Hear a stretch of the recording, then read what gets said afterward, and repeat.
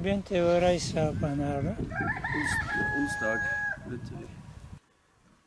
Nå siste onsdag? Nei, for ei uke Ja, for en uke siden. Og Hvor mange har det vært her?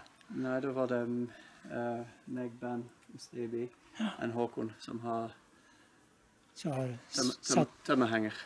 Ja. Så vi, det er eneste måte å sette opp bygning her. Ja, har du hatt, uh, hatt kran, Ja, eller? ja, -hmm. så det de siste slavene er jo fem og en halv meter Ja.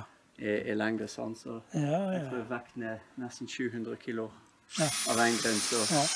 det er litt for mye med hemping i sommer, så grunnforholdet er så dårlig, det er bare saueskit her, så du kan Ja, ikke...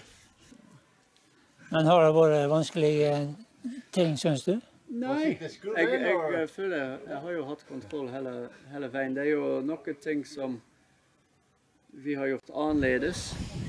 Altså, riboene her har vi gjort på en litt utradisjonell måte. Jeg tror det Vi har ikke sett at det har blitt gjort sånn.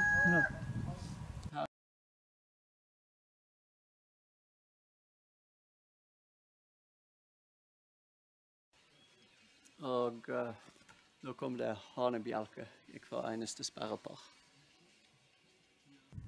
Nei, men du, nå skal ikke jeg forstyrre deg mer. Der, er- Nei, men Du må bare komme på eh, besøk om eh, ja, en måned. ja, med månedstid da er det kommet et stykke lenger. Ja.